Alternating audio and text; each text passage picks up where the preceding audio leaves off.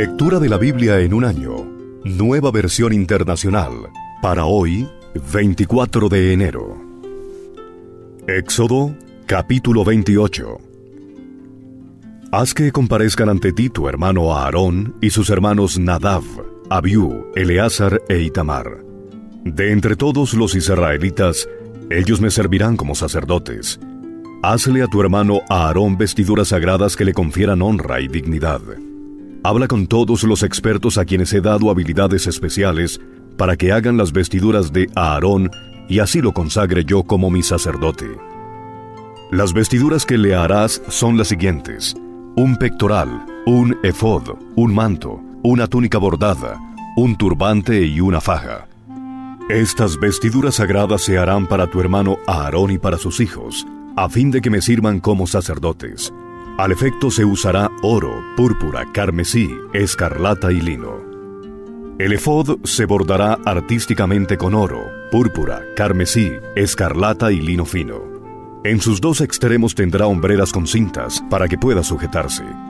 El cinturón bordado con el que se sujeta el efod deberá ser del mismo material, es decir, de oro, púrpura, carmesí, escarlata y lino fino, y formará con el efod una sola pieza.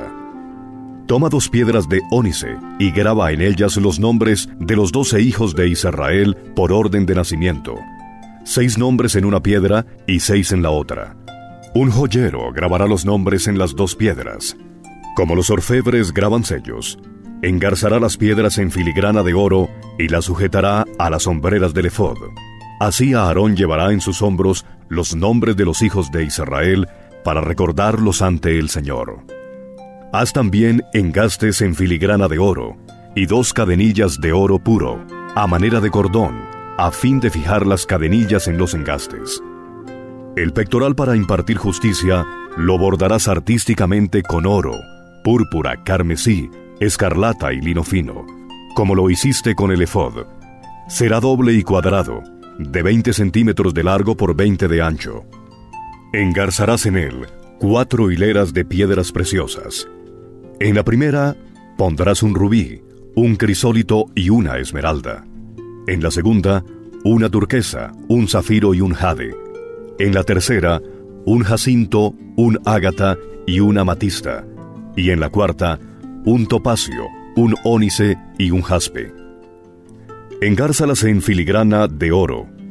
Deben ser doce piedras, una por cada uno de los hijos de Israel. Cada una de las piedras llevará grabada como un sello el nombre de una de las doce tribus. Haz unas cadenillas de oro puro, en forma de cordón, para el pectoral. Ponle al pectoral dos anillos de oro y sujétalos a sus dos extremos. Sujeta las dos cadenillas de oro a los anillos del pectoral y une los extremos de las cadenillas a los dos engastes para fijarlos por la parte delantera a las sombreras del efod. Haz otros dos anillos de oro y fíjalos en los extremos del pectoral, en su borde interno cercano al efod. Haz dos anillos más, también de oro, para fijarlos por el frente del efod, pero por debajo de las sombreras, cerca de la costura que va justamente arriba del cinturón. Los anillos del pectoral deberán sujetarse a los anillos del efod con un cordón azul, trabándolo con el cinturón para que el pectoral y el efod queden unidos. De este modo, siempre que Aarón entre en el lugar santo, llevará sobre su corazón, en el pectoral para impartir justicia, los nombres de los hijos de Israel para recordarlos siempre ante el Señor. Sobre el pectoral, para impartir justicia, pondrás el Urim y el Tumim. De esta manera, Siempre que Aarón se presente ante el Señor, llevará en el pecho la causa de los israelitas. Haz de púrpura todo el manto del efod, con una abertura en el centro para meter la cabeza. Alrededor de la abertura le pondrás un refuerzo como el que se pone a los chalecos, para que no se desgarre. En torno al borde inferior del manto pondrás granadas de púrpura, carmesí y escarlata, alternándolas con campanillas de oro. Por todo el borde del manto pondrás primero una campanilla y luego una granada. Aarón debe llevar puesto el manto mientras esté ejerciendo su ministerio, para que el tintineo de las campanillas se oiga todo el tiempo que Él esté ante el Señor en el lugar santo, y así Él no muera. Haz una placa de oro puro y graba en ella, a manera de sello, consagrado al Señor. Sujeta el turbante con un cordón púrpura, de modo que quede fija a este por la parte delantera. Esta placa estará siempre sobre la frente de Aarón, para que el Señor acepte todas las ofrendas de los israelitas, ya que Aarón llevará sobre sí el pecado en que ellos incurran al dedicar sus ofrendas sagradas. La túnica y el turbante los harás de lino.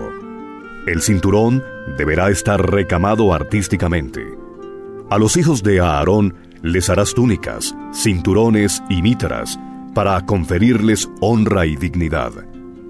Una vez que hayas vestido a tu hermano Aarón y a sus hijos, los ungirás para conferirles autoridad y consagrarlos como mis sacerdotes.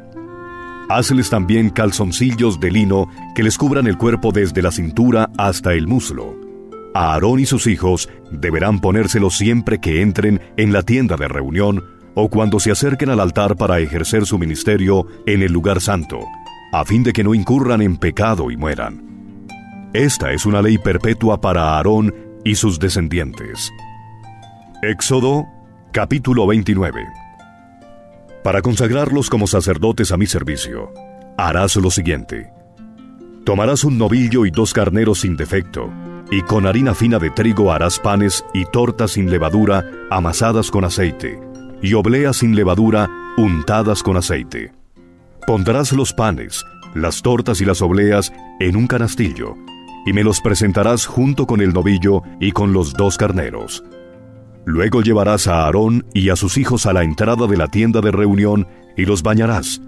Tomarás las vestiduras y le pondrás a Aarón la túnica, el efod con su manto y el pectoral. El efod se lo sujetarás con el cinturón. Le pondrás el turbante en la cabeza y sobre el turbante la tiara sagrada. Luego lo ungirás derramando el aceite de la unción sobre su cabeza. Acercarás entonces a sus hijos y les pondrás las túnicas y las mítras. A continuación, le ceñirás los cinturones a Aarón y a sus hijos. Así les conferirás autoridad y el sacerdocio será para ellos una ley perpetua. Arrimarás el novillo a la entrada de la tienda de reunión para que Aarón y sus hijos le pongan las manos sobre la cabeza, y allí, en presencia del Señor, sacrificarás al novillo. Con el dedo tomarás un poco de la sangre del novillo y la untarás en los cuernos del altar, y al pie del altar derramarás la sangre restante. Al hígado y a los dos riñones les quitarás la grasa que los recubre, y la quemarás sobre el altar pero la carne del novillo, su piel y su excremento, los quemarás fuera del campamento, pues se trata de un sacrificio por el pecado. Tomarás luego uno de los carneros para que Aarón y sus hijos le pongan las manos sobre la cabeza. Lo sacrificarás y con la sangre rociarás el altar y sus cuatro costados. Destazarás el carnero y luego de lavarle los intestinos y las piernas, los pondrán sobre los pedazos y la cabeza del carnero, y quemarás todo el carnero sobre el altar. Se trata de un holocausto, de una ofrenda presentada por fuego, de aroma grato al Señor. Tomarás entonces el otro carnero para que Aarón y sus hijos le pongan las manos sobre la cabeza, y lo sacrificarás, poniendo un poco de su sangre en el lóbulo de la oreja derecha de Aarón y de sus dos hijos, lo mismo que en el lugar derecho y en el dedo gordo derecho. Después de eso rociarás el altar y sus cuatro costados con la sangre, y rociarás también un poco de esa sangre y del aceite de la unción sobre Aarón y sus hijos, y sobre sus vestiduras. Así, Aarón y sus hijos y sus vestiduras quedarán consagrados. De este carnero, que representa la autoridad conferida a los sacerdotes, tomarás la cola, la grasa que recubre las vísceras, el hígado, los dos riñones y el muslo derecho.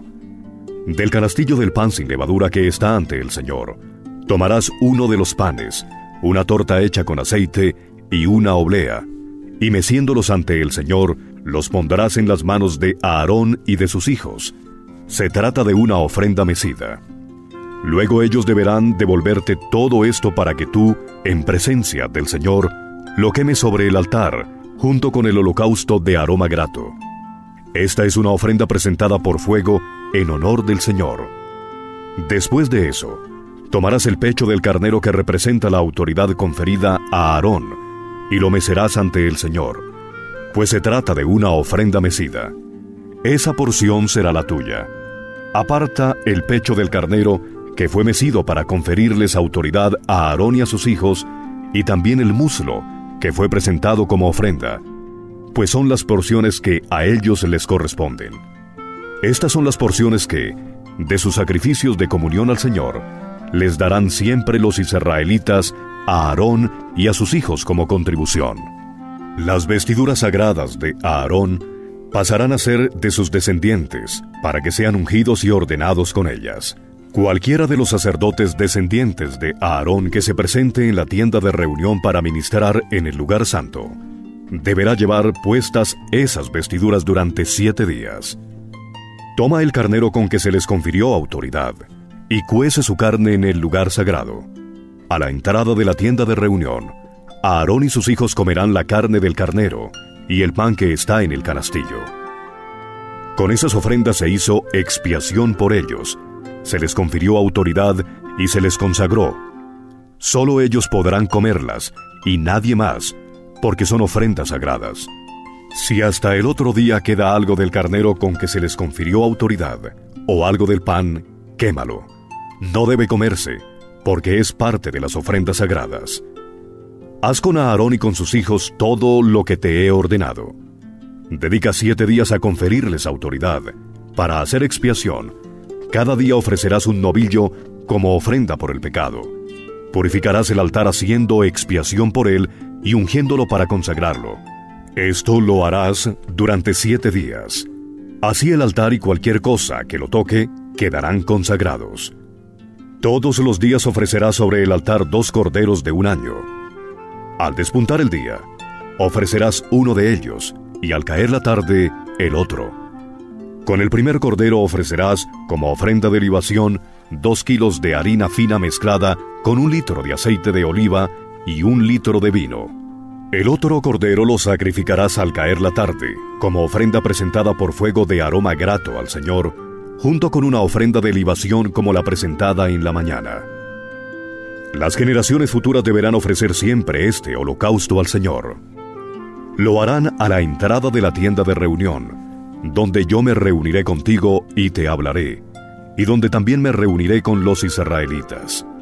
Mi gloriosa presencia santificará ese lugar.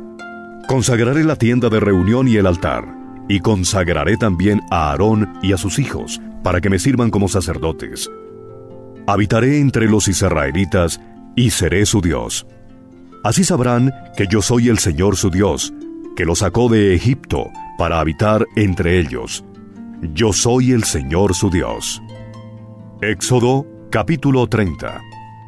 Haz un altar de madera de acacia para quemar incienso. Hazlo cuadrado, de 45 centímetros de largo por 45 centímetros de ancho y 90 centímetros de alto. Sus cuernos deben formar una pieza con el altar.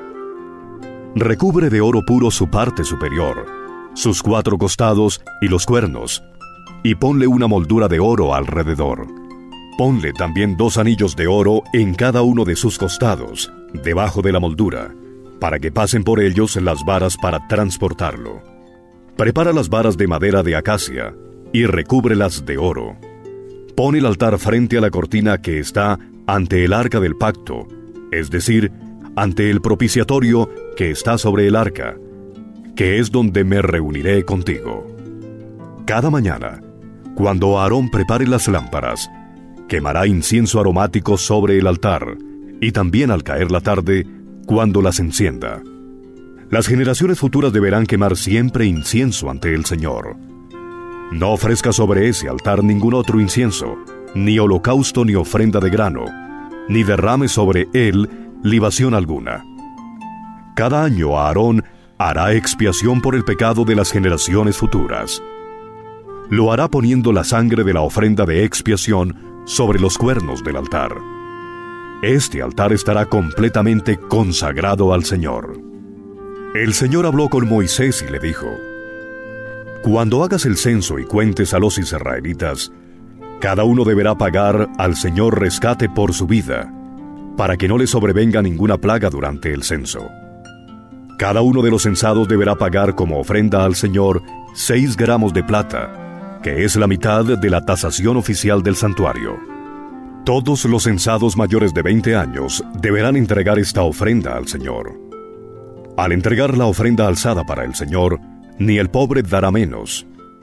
Tú mismo recibirás esta plata de manos de los israelitas y la entregarás para el servicio de la tienda de reunión. De esta manera el Señor tendrá presente que los israelitas pagaron su rescate. El Señor habló con Moisés y le dijo, Haz un lavamanos de bronce, con un pedestal también de bronce, y colócalo entre la tienda de reunión y el altar. Échale agua, pues con ella deben lavarse a Aarón y sus hijos las manos y los pies. Siempre que entren en la tienda de reunión, o cuando se acerquen al altar y presenten al Señor alguna ofrenda por fuego, deberán lavarse con agua las manos y los pies para que no mueran. Esta será una ley perpetua para Aarón y sus descendientes por todas las generaciones. El Señor habló con Moisés y le dijo, Toma las siguientes especias finas, 6 kilos de mirra líquida, 3 kilos de canela aromática, 3 kilos de caña aromática, 6 kilos de casia y 4 kilos de aceite de oliva, según la tasación oficial del santuario. Con estos ingredientes harás un aceite, es decir, una mezcla aromática como las de los fabricantes de perfumes. Este será el aceite de la unción sagrada. Con él deberás ungir la tienda de reunión, el arca del pacto, la mesa y todos sus utensilios, el candelabro y sus accesorios, el altar del incienso, el altar de los holocaustos y todos sus utensilios, y el lavamanos con su pedestal. De este modo los consagrarás, y serán objetos santísimos. Cualquier cosa que toque esos objetos quedará también consagrada. Unge a Aarón y a sus hijos, y conságralos, para que me sirvan como sacerdotes. A los israelitas les darás las siguientes instrucciones. De aquí en adelante, este será mi aceite de la unción sagrada. No lo derramen sobre el cuerpo de cualquier hombre, ni preparen otro aceite con la misma fórmula. Es aceite sagrado, y así deberán considerarlo. Cualquiera que haga un perfume como este, y cualquiera que unja con él a alguien que no sea sacerdote, será eliminado de su pueblo. El Señor le dijo a Moisés, Toma una misma cantidad de resina, ámbar, gálbano e incienso puro, y mezcla todo esto para hacer un incienso aromático, como lo hacen los fabricantes de perfumes. Agrégale sal a la mezcla para que sea un incienso puro y sagrado. Muele parte de la mezcla hasta hacerla polvo, y colócala en la tienda de reunión frente al arca del pacto, donde yo me reuniré contigo. Este incienso será para ustedes algo muy sagrado y no deberá hacerse ningún otro incienso con la misma fórmula, pues le pertenece al Señor. Ustedes deberán consagrarlo como algo sagrado. Quien haga otro incienso parecido para disfrutar de su fragancia, será eliminado de su pueblo. Éxodo, capítulo 31. El Señor habló con Moisés y le dijo, Toma en cuenta que he escogido a Besalel, hijo de Uri y nieto de Hur, de la tribu de Judá, y lo he llenado del Espíritu de Dios, de sabiduría, inteligencia y capacidad creativa para hacer trabajos artísticos en oro, plata y bronce, para cortar y engastar piedras preciosas, para hacer tallados en madera y para realizar toda clase de artesanías. Además, he designado como su ayudante a Aholiab, hijo de Ahisamac, de la tribu de Dan, y he dotado de habilidad a todos los artesanos para que hagan todo lo que te he mandado hacer, es decir, tienda de reunión, el arca del pacto, el propiciatorio que va encima de ella, el resto del mobiliario de la tienda, la mesa y sus utensilios, el candelabro de oro puro y todos sus accesorios, el altar del incienso, el altar de los holocaustos y todos sus utensilios, el lavamanos con su pedestal, las vestiduras tejidas, tanto las vestiduras sagradas para Aarón el sacerdote, como las vestiduras sacerdotales de sus hijos, el aceite de la unción y el incienso aromático para el lugar santo. Todo deberán hacerlo tal como te he mandado que lo hagas. El Señor le ordenó a Moisés, Diles lo siguiente a los israelitas, Ustedes deberán observar mis sábados. En todas las generaciones venideras, el sábado será una señal entre ustedes y yo, para que sepan que yo, el Señor, los he consagrado para que me sirvan. El sábado será para ustedes un día sagrado. Obsérvenlo. Quien no lo observe será condenado a muerte. Quien haga algún trabajo en sábado será eliminado de su pueblo. Durante seis días se podrá trabajar, pero el séptimo, el sábado, será de reposo consagrado al Señor. Quien haga algún trabajo en sábado será condenado a muerte. Los israelitas deberán observar el sábado. En todas las generaciones futuras será para ellos un pacto perpetuo, una señal eterna entre ellos y yo. En efecto, en seis días hizo el Señor los cielos y la tierra, y el séptimo día descansó. Y cuando terminó de hablar con Moisés en el monte Sinaí, le dio las dos tablas de la ley, que eran dos lajas escritas por el dedo mismo de Dios.